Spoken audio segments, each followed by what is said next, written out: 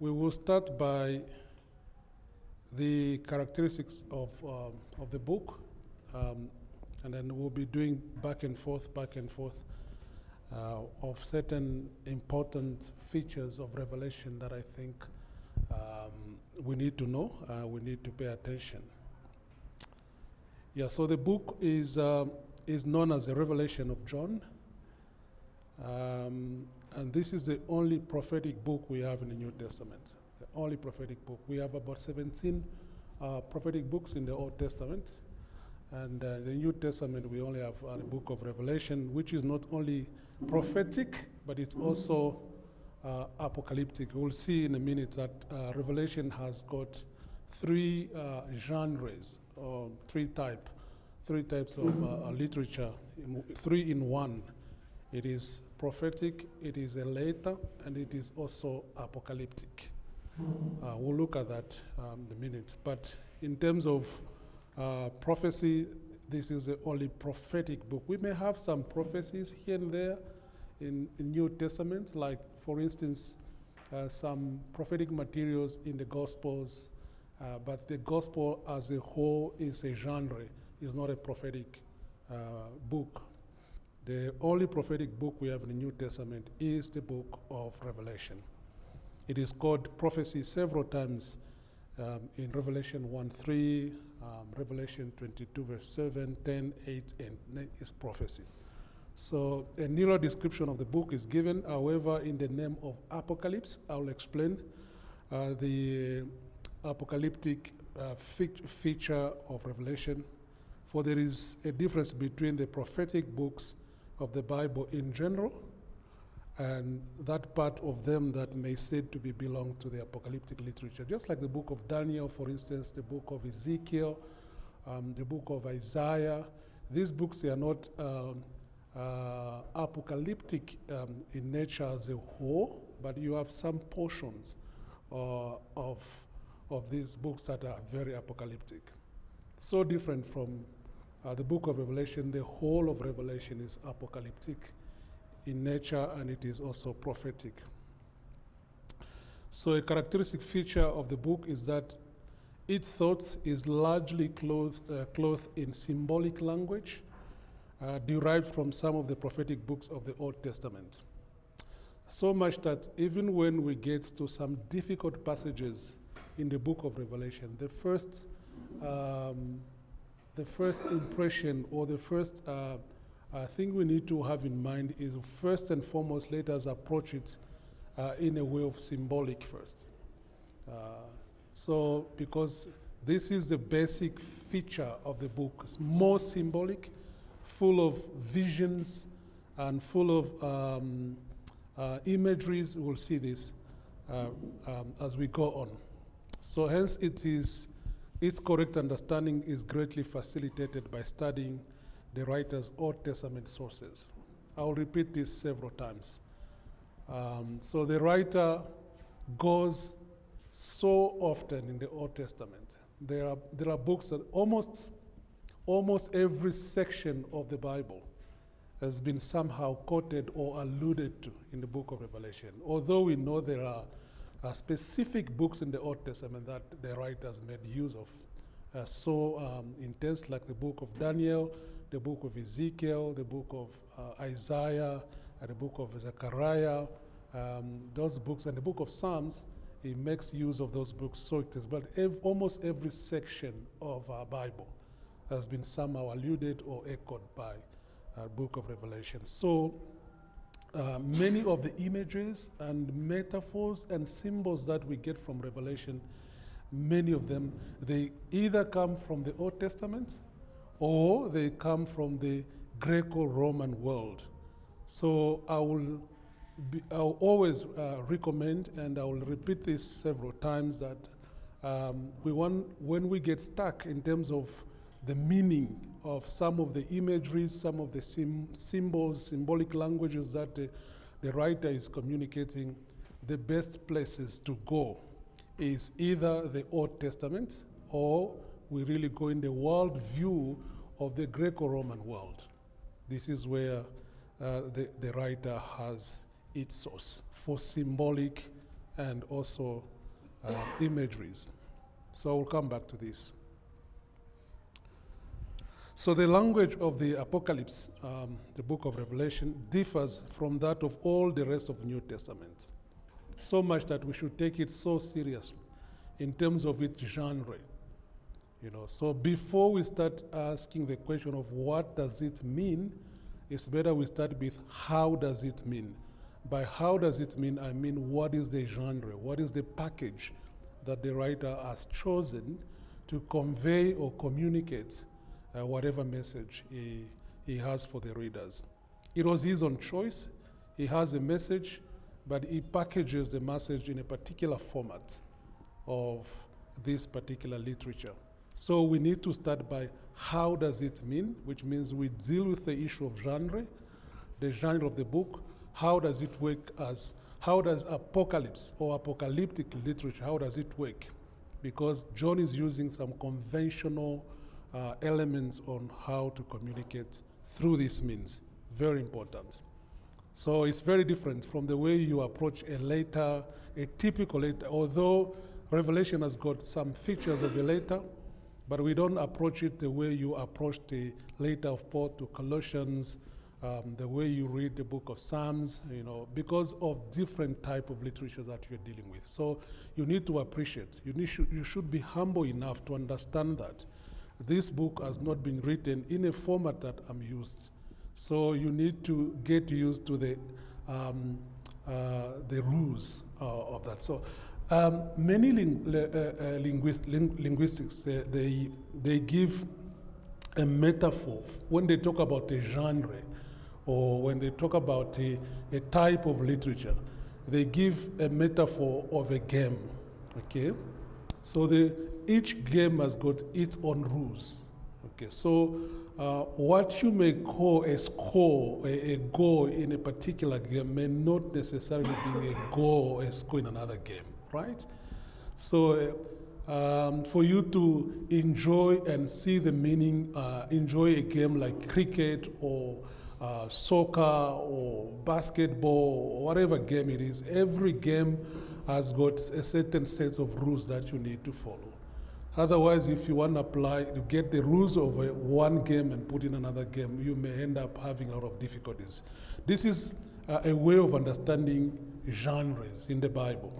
So the way you approach an apocalyptic literature should be different from the way you approach a typical letter or the gospel as a genre, so that you understand what the writer is conveying or communicating.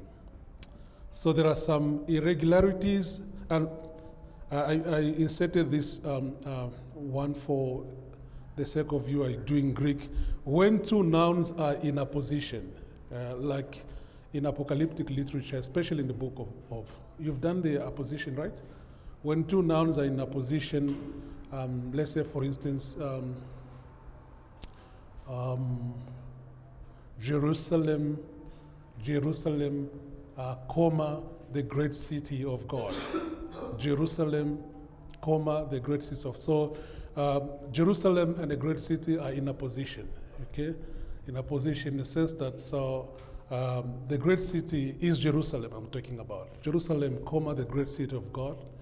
Um, so when two nouns are in, in uh, opposition or sometimes in opposition, the second usually is put in the nominative uh, whatever the case. So we'll see this um, as we move on. There are some irregularities which considered abstractly are perfectly legitimate but are contrary to the established uh, Greek language or Greek usage um, because of the nature of the literature itself. You don't expect to get all the grammatical rules of Greek well. False concords in gender, constructions ad sensum are also frequently found. I will, re I will repeat these elements uh, several times uh, as we move on, especially as we begin to tackle those strategic and uh, so-called complicated, complicated passages in Revelation. So Revelation is unique in the sense that it is the only prophetic book in the New Testament. The genre is threefold. Revelation is prophetic, Revelation is apocalyptic, Revelation is a letter. And the prophetic material, the apocalyptic material, the uh, idea of a letter, all of them are also packaged in a fundamental um, structure we call um, a narrative. Uh, there's also a narrative genre going on in the book, but a narrative that is conveyed in a prophetic, apocalyptic, apocalyptic way. So sorting out first the, uh, the, the, critical issue of what kind of or what form of literature is the book is very important. That's why I said before you begin to ask the question of what does it mean, we should begin by how does it mean. It's very important. The metaphor that many linguists used, as I said, to describe literary genre is that of a game. You can think of each genre in the Bible as a different kind of game, complete with its own set of rules, like the football or basketball. So the book of Revelation has got its own set of rules that we need to stick if you want to understand. So we must understand how apocalyptic literature works, its set of rules. This is because the apocalyptic um, is a type of literature that the seer John has chosen to use in Revelation. So we need to understand the set of rules of how it works. So his book is also used as a letter, as a narrative, and also as prophecy. So we need to familiarize ourselves with conventional sets of rules. Um, this morning I was um, talking to a friend who is in South Africa asking me questions about the same book of, of, Revelation. So, um, so I, I, I, said, I don't think John, John has got an important message, um, John Seer, an important message of comfort, message of encouragement to the people. I don't think he intentionally put it in a genre that will complicate the reader or the readers to understand. He's writing to the people of God to encourage them, to comfort them, to show them uh, how they should live in a, in a, in a conflict, cosmic context. Uh, so there's no point of complicating the readers. Um, so, so what he has chosen to write and the format that he has used uh, was in the understanding of the readers. So he expected the readers to understand because the readers, uh, and they know the set of rules of uh, how, by the time John was writing this, there were already a lot of apocalyptic literatures going around, a lot of them, a lot of them. So the book of, the book of Revelation is not the only apocalyptic literature that we have, first of all, in the Bible and, and also outside of the Bible. There were a lot of uh, um, written materials that were circulating already using the same format or the same genre. So the readers of John were already familiar with the kind of um, uh, literature that John was using. So he didn't put it in this particular format to just complicate or maybe to make it harder to understand. Not at all. You know, he was conveying a very important message to the people of God. So he's, he knows they will get it, they will understand. So, one thing about, I've, I've skipped a number of things about, remember, I've said Revelation is prophetic, is apocalyptic, is a letter, and is also narrative. But let me talk something about the apocalyptic, some of the things that you expect to find in apocalyptic literature, not just in the book of Revelation, every genre uh, which comes in that format of apocalyptic, you expect things like this. So uh, the genre of apocalyptic um, itself, yeah, so apocalypticism um, is a literature, is a genre, it's a system of beliefs. Um, and also it's like a social movement. So a revelation is given to an honored figure of the past. Uh, but for instance, you find a lot of literatures were written, you know, Revelation, I mean, Apocalypse of, of Abraham, Apocalypse, the, the, the, the Apocalypse of Job and Enoch, uh, Enoch and something like that. Not necessarily that Enoch is the one who, who wrote. This is one of the set, set of the set, sets, uh, rules that uh, you find in Apocalyptic. But the only difference you find in the book of Revelation is that the writer of Revelation is John, and he doesn't hide his name. Uh, but most of the time in apocalyptic literature, you find that a revelation is given to an honored figure of the past. You know, you find the apocalypse of John, the apocalypse of, of, of Abraham, uh, the apocalypse of Paul, or something like that. Um, it's one of. It's, it's, not like the intention is to um, just to hide. That's one of set of rules of how that literature works. So the word apocalypse is based on the Greek word meaning revelation or unveiling uh, what is unveiled in apocalyptic literature. What is it that you're trying to unveil or to reveal in a literature that is, uh, is apocalyptic? Primarily, events that will happen at the end of history.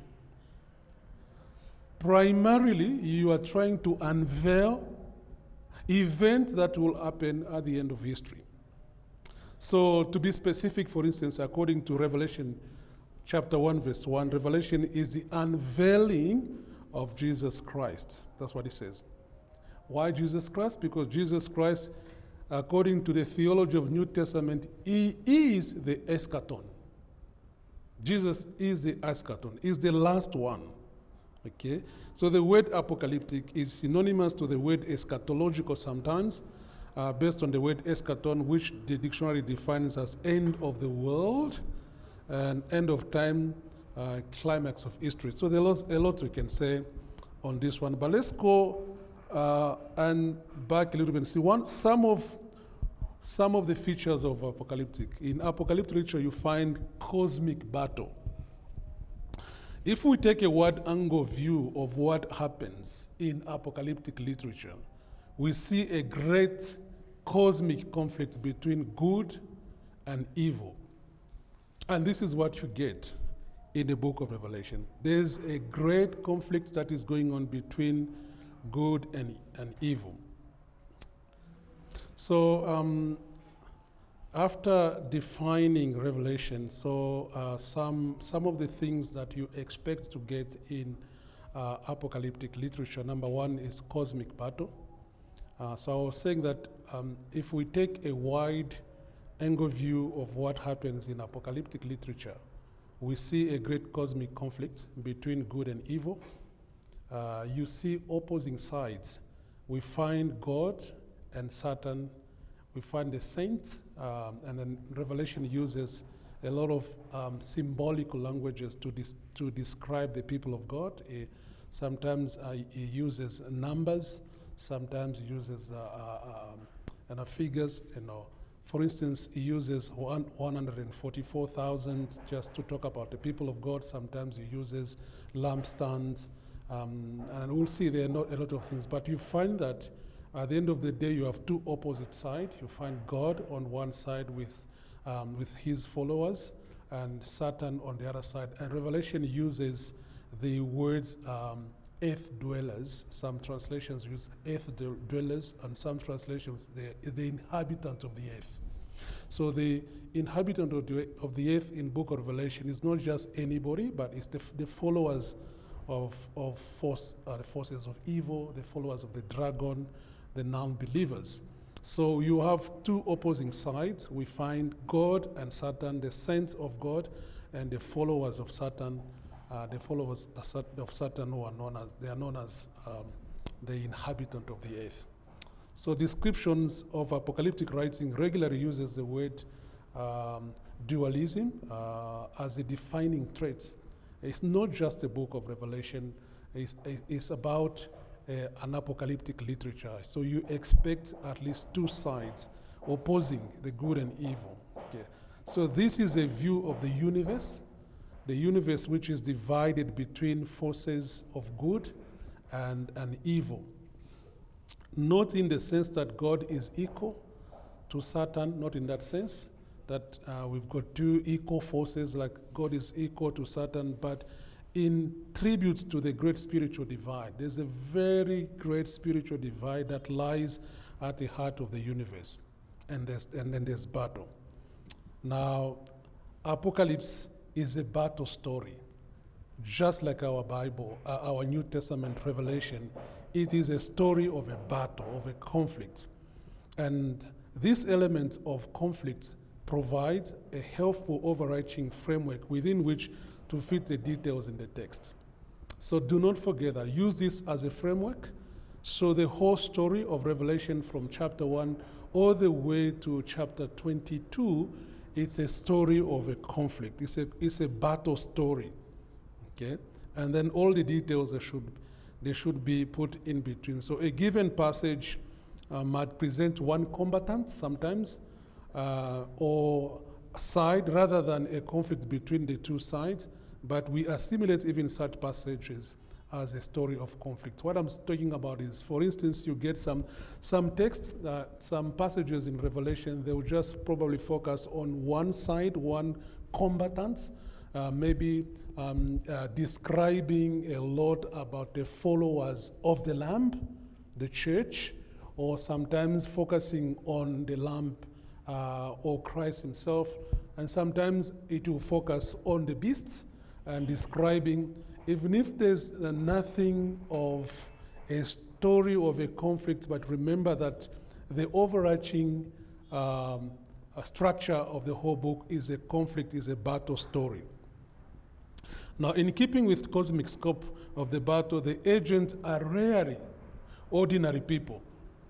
So, in apocalyptic literature, he would rarely will use, you know, human beings, people, uh, but he will use, um, you know, use visions, uh, which is very much elevated above ordinary standards. Now, the agents in apocalyptic visions or battle, uh, they are most of the time they are uh, visionary beings. That's why you find the book of Revelation is full of visions. And it's not only Revelation, but apocalyptic literature full of visions.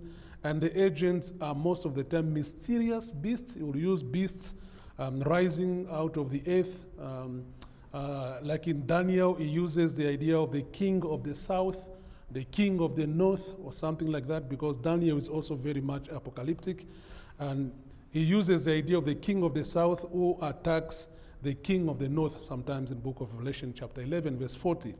Or sometimes, like in Zechariah, which is also apocalyptic, he uses you know, uh, horses that are dispatched uh, to patrol the whole earth um, because this is what we'll expect. So the agents that are involved in a battle, they are not all, um, most of the time, they're not like human beings, full vision, sometimes beasts. Now, an important aspect of apocalyptic literature is the final triumph of good and defeat of evil. That's what we, we expect. Uh, so apocalypse is, apocalyptic literature is a story of unhappy ending just like our, our book of Revelation. So there will be a story of conflicts going on, a cosmic battle, but at the end, it's not just like uh, prophetic material, but apocalyptic. We will expect happy ending. You'll find that in the end, good will defeat evil. Okay, just like what we get in Revelation chapter 22. Finally, you find that the followers of the Lamb are now in the presence of, of the Lamb and the presence of God, and then there's now a blissful moment of, of, of enjoying.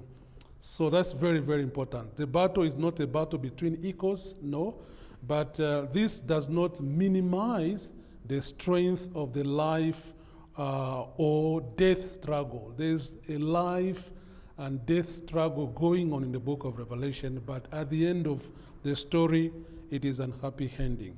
The power of evil in apocalyptic literature is terrifying. You'll see sometimes they are being presented like um, um, grasshoppers, you know, uh, with the human hair, uh, with the um, teeth of scorpions, and uh, very terrifying in, in, in Revelation, in, in, uh, in apocalyptic literature forces of evil, and sometimes beasts. We'll see the beast out of the earth, uh, the beast out of the land, the beast out of. We'll see how they are being described, how they are being presented. Uh, sometimes, you know, very, very um, terrifying, and often drives, you know, us uh, to a temporal despair of as we read and contemplate. So, at a given moment, the customary motif of battlefield suspense enters our mind as we read. So, but as there isn't ultimate suspense about the outcome, it is always a story of one happy ending. You'll see that in Revelation 22. So, one more dimension I want to mention about the, the genre of the book um, should be noticed that the conflict is not simply between good and evil, uh, but it's also a contrast between this age and the age to come. It's a contrast between this age and the age to come. This is not, uh, this is not provable from the single passage, but from the overall movement of how the book of Revelation goes. You'll see that. Yeah. And we've got special categories of symbolism. The book is full of symbols. As I said at the beginning, that when you get stuck um, into a particular passage or text that is a little complicated, I think the first guess you should follow the symbolic interpretation first, because that's the nature of the book. The book is very symbolic, and there's this, this special category, categories of symbolism. Besides symbolism and symbolic reality in general, apocalyptic visions make use of special categories of symbols. While these can appear anywhere in literature, by the occur concentrated fashion in apocalyptic vision. You can get visions uh, in many other uh, parts of the Bible in prophetic materials, but when you get to apocalyptic literature, you see that this is actually where visions belong. A lot of uh, them. So one category is the, uh, the, the, symbolic language of animals. You know, uh, one category is animals that appear not only as part of the strange world motif, uh, but that also possess symbolic meanings. So you find animals going, um, when, when, when Revelation is talking about the judgment in the format of trumpets, I will explain that. Uh, at some point, he describes uh, one, of, one, of, one of the judgment is the, grass, the grasshoppers that are coming, and then they will control and disturb the world, especially the inhabitants of the earth, for about five months. Um, and so the language of five months associated with grasshoppers is very important. Um, and especially when you share the same world view with the readers, then you understand what's the combination uh, between the lifespan of uh, these uh, grasshoppers and five and five months. I will explain this as we get to the to the numbers. And uh, in this in this class, um, I've, I've, I've, picked, there are a lot of numbers in Revelation, but I've picked the, the ones I think are very um, important for us. Um, numbers that sometimes have made a lot of uh, uh, co controversies around, you know, numbers like uh, 666, numbers like 144, uh, such numbers, 42, uh, 42 months, uh, 1,260 days, all those numbers. We'll see how Revelation uh, makes use of those numbers, in, in, in especially in um, the Apocalypse of John. So we have special categories. Uh, he used sometimes is animals as symbols of a certain message. Sometimes color symbolism is also important. Uh, sometimes numbers, you know. Uh, so when you get numbers like three, like seven, like ten, like twelve, in any other parts of any other genre of the Bible. So they may not uh, probably have a significant meaning uh, as you get them in Revelation. You know, so in Revelation you find that they are uh, actually um, very important, very very important. Not necessary. So, what, so the point I want to make is that you, for instance, for instance, if I say, um, if we read now, when we read, when we read in, in just an example on top of my head. Let me give an example now. When you read, for instance, in the in in in in, um, in the gospel, that when Jesus was entering Jericho, you know, he was entering Jericho, he found two blind men. You know? So uh, I don't have to begin to make a big deal out of number two. So what does two mean in, in because I know the genre of the gospel, uh, I don't think the writer wants to convey significant meaning by telling us that there were two, and therefore two means Old Testament and New Testament or something like that. You know, so, uh, why? Because I want to appreciate the packaging of the genre that has been used to convey particular meaning. So 666 is very symbolic, is very significant in a genre which is apocalyptic and sometimes prophetic. But when I get this number uh, elsewhere out of the genre which is apocalyptic, I don't, I, I, don't, I don't have to convey the meaning unless if the context allows. That's the point I want to make. So we are safe when we begin to go the route of symbolic in Revelation we are safe. We may get it wrong, but that is a safe passage already because Revelation is symbolic. What we are not safe when we begin to go like that as we read the parables, for instance. Okay? This is the point I wanted to, to make. So, a, lo- a lot of these, anyway. Yeah. We'll come back to that. Let's talk about authorship. Uh, I think I want to, to, to, to, to skip this issue of authorship. Um, um, some New Testament scholars um, would be happy to say the book of Revelation was written by John the prophet, uh, uh, not, not, uh, not necessarily John the apostle, uh, but I am of the view that it was written by John uh, the elder, John the apostle of the Lord Jesus, John the beloved, the beloved disciple of Jesus. And um, he is writing to primarily those seven um, representative churches in Asia Minor. Now, again, in terms of context, I'll leave that with you. I believe personally that he uh, was some kind of persecution going on, although it was not uh, everywhere in Asia Minor, but it was somehow heading towards becoming so serious in every part of Asia.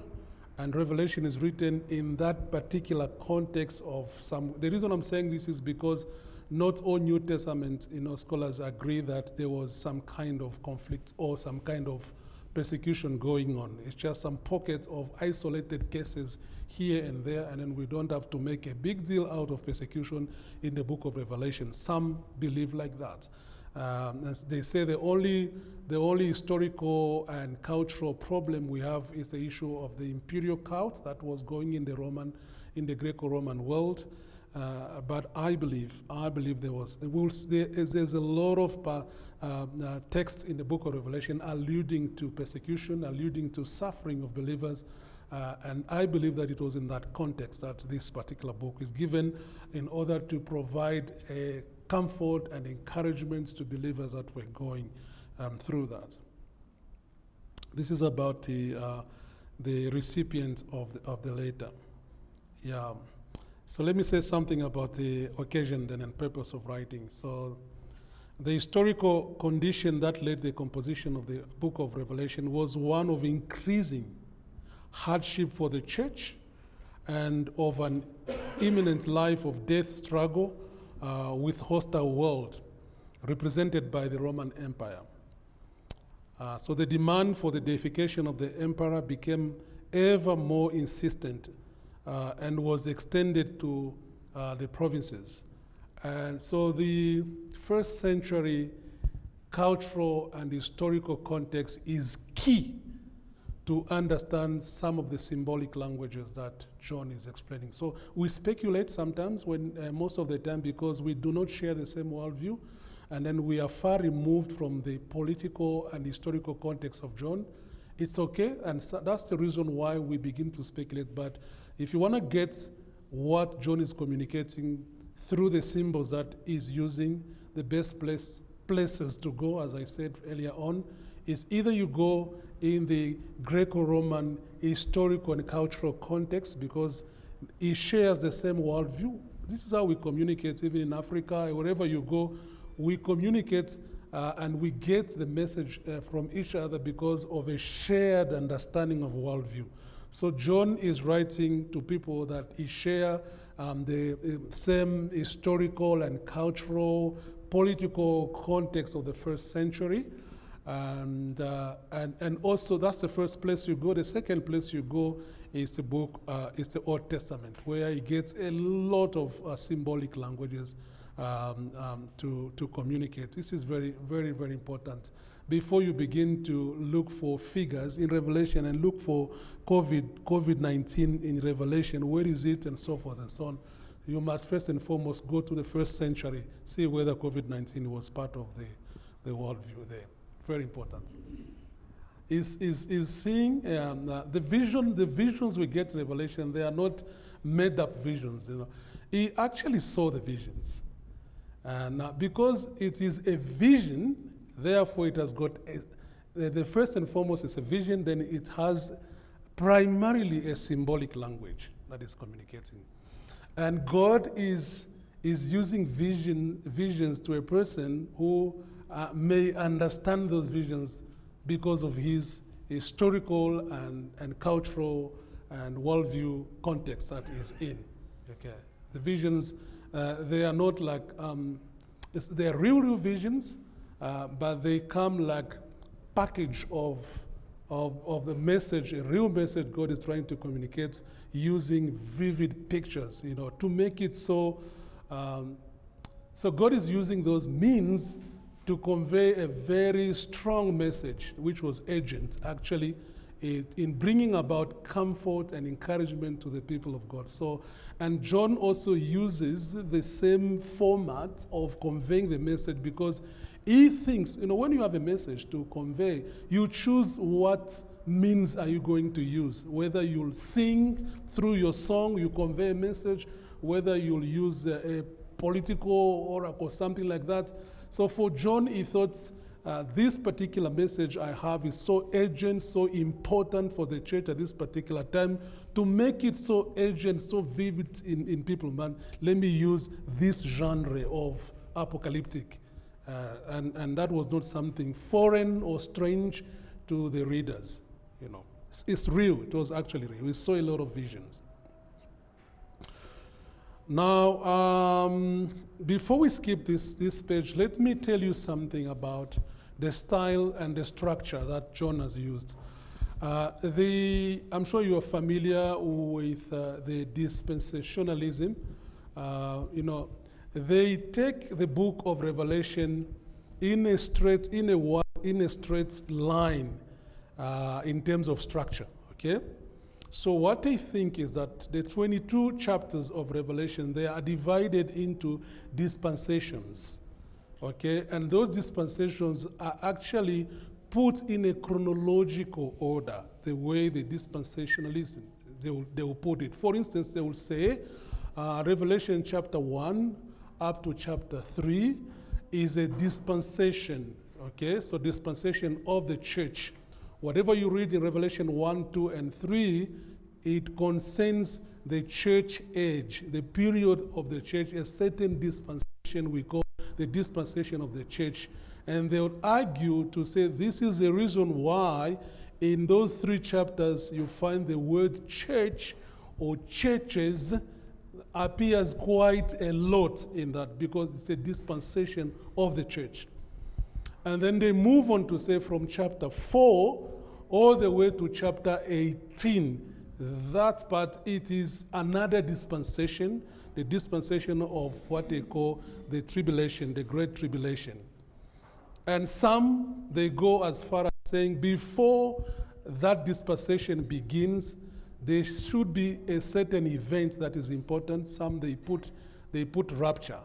Uh, at the beginning of chapter 4, the rapture, the rapture of the church. And when you ask them, where do you get the idea of rapture? They get it from that little phrase in chapter 4, verse 1, when John is invited to say, Come up here. Come up here. So the come up here represents the rapture of the church, according to them, because John is a representative of the people of God. So what you get in chapter 4, verse 1 is the rapture, which opens another dispensation, the dispensation of tribulation.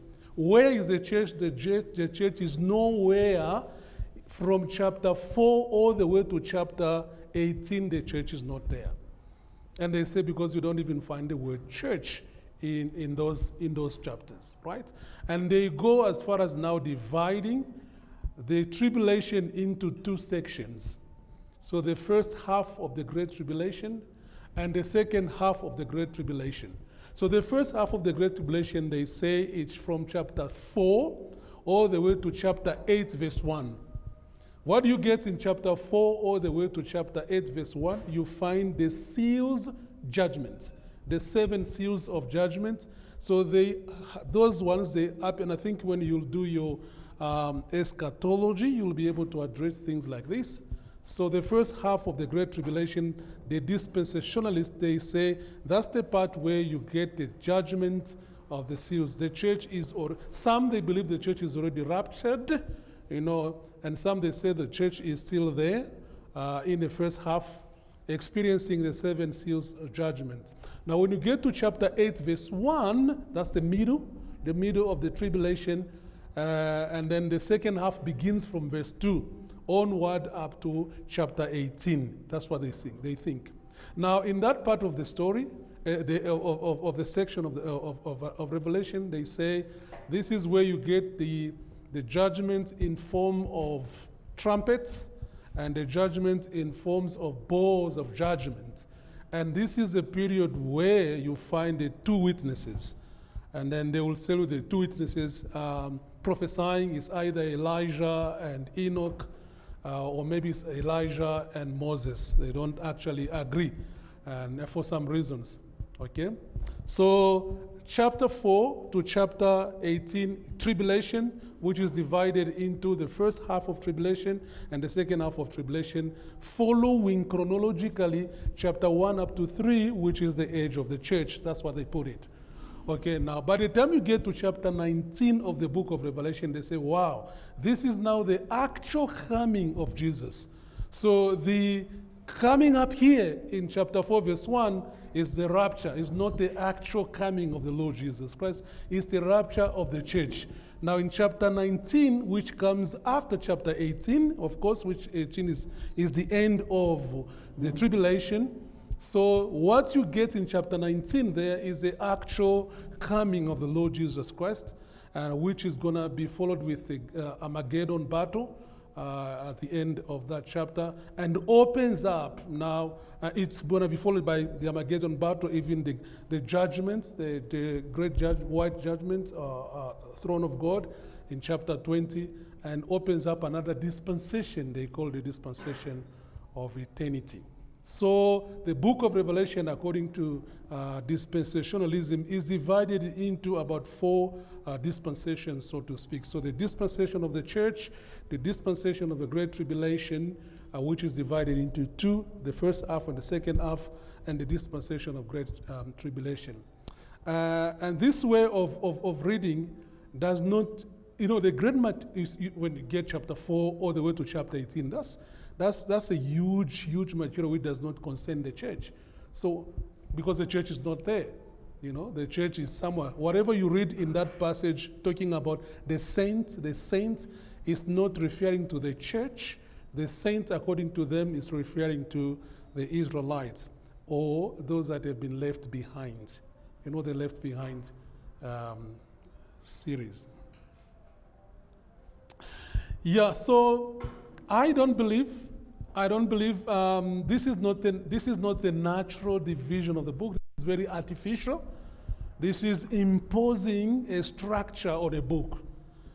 John has got a back and forth kind of structure. We'll see this. So it's the same way John writes 1 John. He goes and comes back, goes and comes back, back and forth, up and down, back and forth, up and down. This is how the book of Revelation has written. So uh, the major period in the book of Revelation is the period we call church age, and then the book is trying to describe the same period of time from different angles. He goes and he comes back. He goes and he comes back, back and forth, up and down. That's the structure. It's a very eclectic kind of structure. We'll see this as we move on. So, this is about the structure, um, which I'm going to In terms of time and composition, the book was written uh, probably toward the end of first century during the time of Domitian, um, the reign of Domitian. This is what most uh, most uh, uh, commentators believe. Some they want to put it during the time of Nero, um, but when we begin to uh, unpack Revelation 13, um, especially with the beastology, the, the doctrine of the beast, you will see that Revelation was not uh, written during the time of Nero, who died in 68. Um, he committed suicide. Okay. So the method that he used was apocalypse. Um, yeah. So it's, it's a specific message to those like the three, the, the seven churches, the seven letter to seven churches. And also at the end of every letter, there's listen to what the Holy Spirit has to speak to churches in plural. So there's, there's, a, there's a sense where the message goes to a particular church. There's a sense that also it is, uh, is, is conveying a message that is applicable to the, to the all people of God everywhere. We'll see the, the application of the church.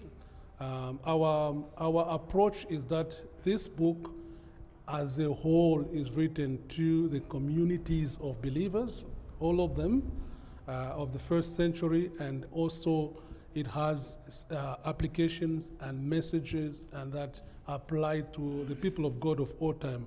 Okay, let me, I'll, I'll come back to that. Let me, let me talk about the traditional approaches quickly there. Um, traditionally, we've got um, four approaches to the book of Revelation. There's what we call the preterist approach to the book, and uh, you'll get this in your uh, eschatology, I think. Um, the preterist approach takes the historical context of Revelation seriously and attempts to understand the book how John's audience would have understood it. Uh, and many of the events of Revelation are seen as having been fulfilled in the first century. So that's why they call themselves preterist, in the sense that everything we read, almost everything we read in Revelation, almost everything, uh, apart from uh, passages that probably address the uh, judgment and the coming of the Lord, almost everything uh, was fulfilled in the first century. Actually, it is part of the first century.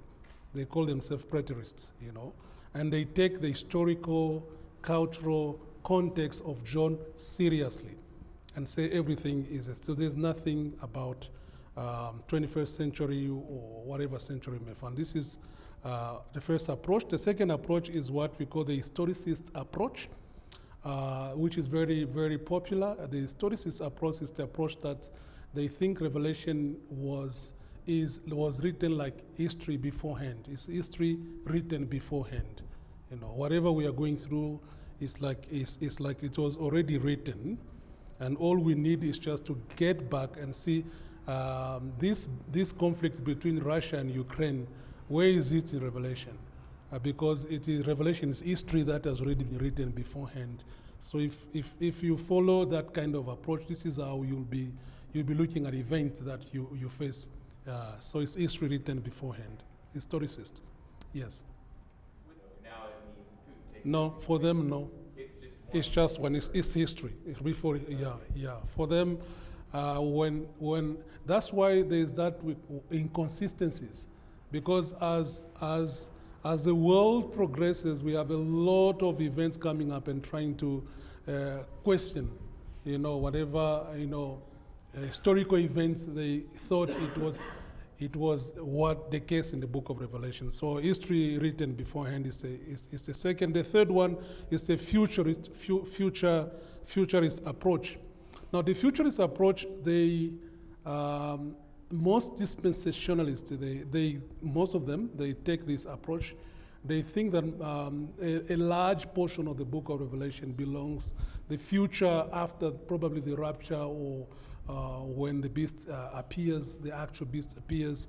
Uh, so they will take seriously the first three chapters of Revelation to say these chapters they belong to us. This is where we can get a lot of encouragement. But starting from chapter four all the way to chapter 23 is futuristic, is future, and this will come probably uh, with the introduction of uh, the beast, or maybe with the event of rapture. And the last one is the idealist approach um, does not mean Revelation uh, in, does not understand Revelation in terms of any particular reference to time, but rather relates it to the ongoing struggle between good and evil. Uh, and, and some would call this symbolic approach. So it is an ongoing struggle between good and evil. Now, what is our approach? Uh, my approach and our approach. Um, so in this course, we advocate for uh, what I have termed like parallelist approach, um, which I take from Greg. I also take it from uh, Hendriksen. That the book is, um, you know, is going back and forth, back and forth, back and forth, and it's this is another way of understanding idealist approach, uh, which means there is no single fulfillment, no single fulfillment. The parallelist approach assumes and advocates that there is no single fulfillment. There are only transcendent principles, and this is important. Transcendent principles and recurring themes in Revelation. They come back, the forth, back and forth. Hence, the reading, it is very close to what we call idealist approach with some preterist and historicist elements. So what we do is we appreciate, we don't reject all these approaches above, but there's some elements we take from there. So this approach is also called an eclectic, eclectic approach to revelation. This is what I'm proposing um, to reading by Hays and Duvall. So they argue that an approach that seeks to combine the strength of several and the above approaches uh, by advocating for no single fulfillment. The starting point is the first century first. This is what this approach is all about. So you read Revelation 13, 17, 22, whatever chapter you get in, the first starting point is how the first century believers might have understood. That's where we start from. And then we look at principles. You know, there's no single fulfillment, and look at principles, and those principles they transcend culture and time. They belong to the same period of time we are all involved in, and this period we call the period of the church. And therefore, uh, this is how we appreciate the book. So we believe that there's ongoing conflicts between good and evil. We believe there's ongoing cosmic battle going on, and you and the first century believers, we all share the same period of time, the this age and the age to come. Therefore, we begin with the first century believers first, and then from there we get what is the principle. For instance, uh, let's speak Revelation 13, you know, which is talking of the beast out of the sea, the beast out of the land, for instance. So the our starting point is what the first readers might have understood by beasts. And then we pick there what is the principle which is real, is reality in every period of time that we go through. So this is what we call an eclectic view. We get as many strength as possible in every approach and we move on uh, together. So it is by following this approach, we make revel revelation relevant to the church. Revelation is God's message to the people of God today. Uh, it's, it's, a great book of encouragement. It's a great book of comfort that we can preach. It's not something that belongs uh, completely in the past or which has something to do only in the future.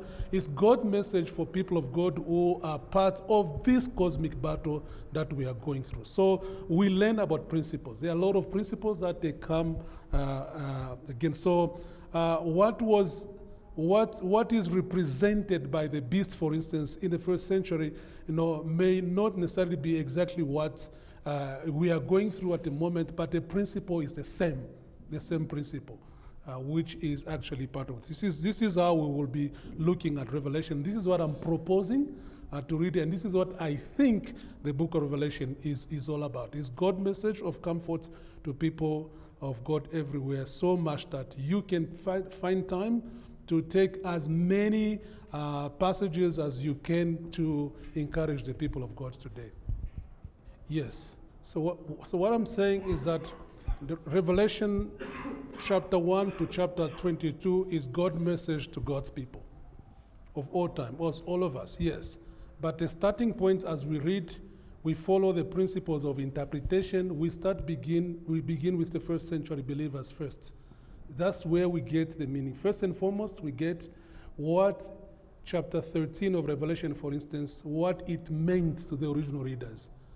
Once we get it, we say this is how they understood. Then the second question is, how does this understanding apply to us today? Because the principle is actually the same. We don't ignore the understanding of first century. The 666, okay, the mark of the beast is not, is not something of the 21st century. Uh, the first century believers understood it in a way. So John communicated something through that. So we go back to the first century and said, what did John mean to the original readers when he said the mark of the beast? So we put ourselves in the shoes of the first century believers first, and we understand how they might have understood it. And then the second question is if this is how they got it, how does this understanding apply to us today? Because what is the principle which is now beyond culture, beyond time, beyond space, which is God's message to the people of God of all time? So that revelation is not confined to a specific historical period of time, because this is it's not that.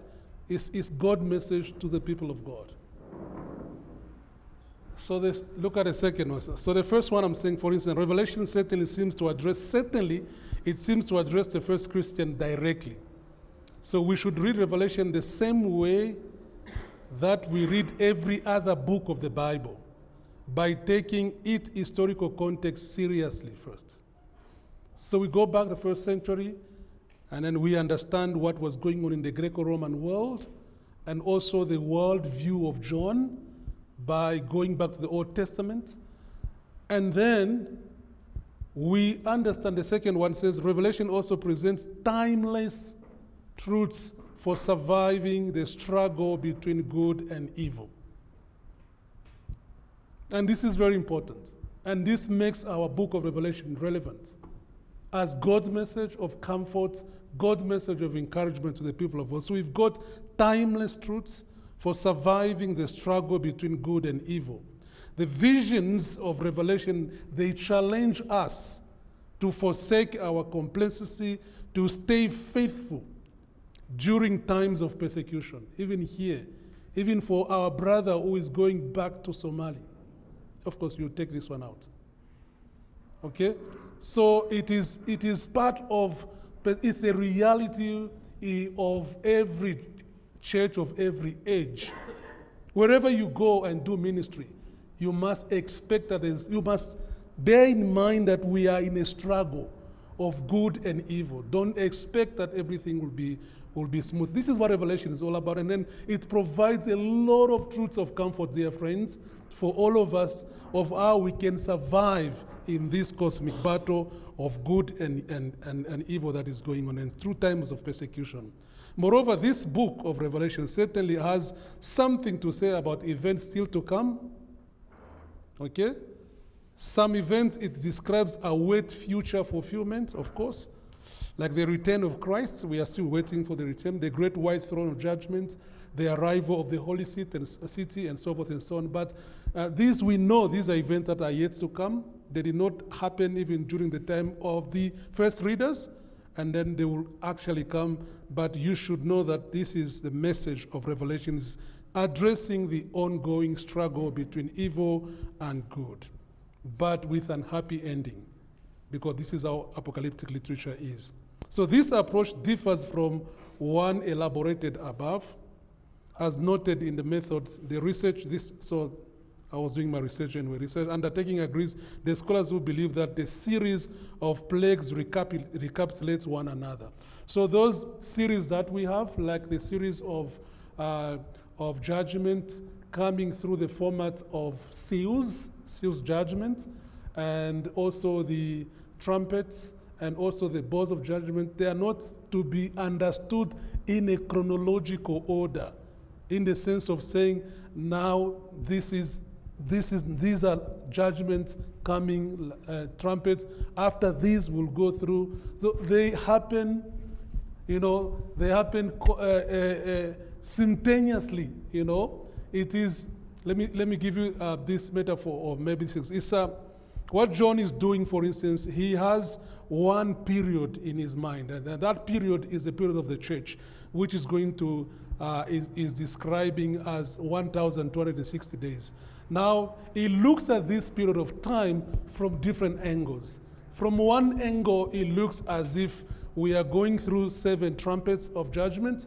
From the other angle, the same period of time as if it's seals of judgment. From the other angle, so they all happen simultaneously depending on what, what, how, how you look at the, at the period of time. So um, get this as a structure so that it will really help us as we begin to uh, address some strategic uh, uh passages uh, we have in Revelation. Remember what I said? So we read Revelation the same way you read any other book of the Bible. You begin with the meaning, and the meaning is what the writer communicated to the first readers. That's the meaning. What did he mean to them? So we we have to work very hard to grasp what the writer communicated to the readers. That's the meaning. Once that is grasped, you get it. And then the second question is how does this apply to someone like me living in Ethiopia, to someone like me living in Africa? Uh, what, what's the application? So it's only when we understand what it meant first, we will be able to see how that principle may work in our lives today. So we take the historical, cultural context of the first readers seriously, just like the preterists, they do. But at the same time, we know it is God's message to the people of God, and then it has those truths that may apply to all of us. So if, if, you, if, if we take the four approaches and then you ask me where do I belong, for instance, eh? uh, I am the last one, the idealist approach, which is uh, what uh, in my research paper, I don't call it idealist, I call it parallelist approach because my focus is on the structure of the book, how the book has got parallels. Eh, sections are run, they run parallels to each other. Okay, we, for instance, we've got chapter 1 to chapter 3 as a section, chapter 4 to chapter 7 as a section, they run uh, parallel to each other, explaining the same period of time. So, with the focus of parallelism, uh, don't use it like idealist, even if it's a idealist approach, because my focus was on the, on, the, on, the, on the structure of the book. So it is a back and forth, back and forth, back and forth kind of structure.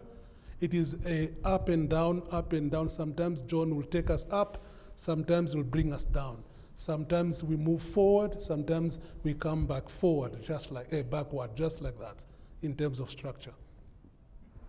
Having said that, these are parallels, right? You know, they recapitulate each other.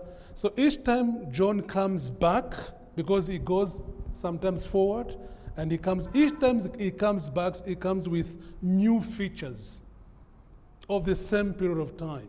So, as you preach and as you read, you must know what is new in this particular uh, section, which he did not explain in the first section. Uh, this, it's like looking at the same period of time, you know, from different angles, you know. So you look at this angle, there's something you miss, but there's, there's also something you benefit as you move to another angle, there's always something new that, and it's not only new, but sometimes also development. There are some development ideas that John will bring in, um, moving forward the whole story of the battle as we are moving towards the end where we understand the coming, the return of the Lord, uh, and, and, and this is important. John is a genius the way he writes. You, you will be surprised when you read. And not only that, the moment I started my journey in the book of Revelation, I was more convinced of the inspiration of the Bible. More convinced. I came to see that this is not just John writing. There should be someone who has a 100% understanding of history who is talking, who is actually using John. Because the, the, the, the, details, the way he gets the details there, you, it's, it's, it's, it's really genius that God is really working behind. uh, the whole story. Okay, parallelism is a structure.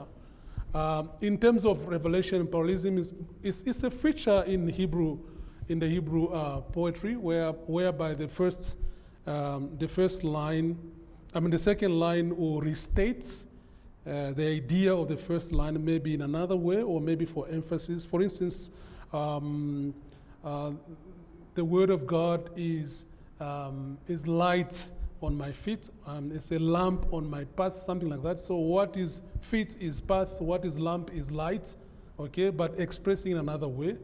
Now, in terms of structure, the book of Revelation has been structured as parallelism in the sense that we've got different sections. There may be, there may be six or seven sections, and all those sections are all trying to explain the realities of the same period of time emphasizing in different ways.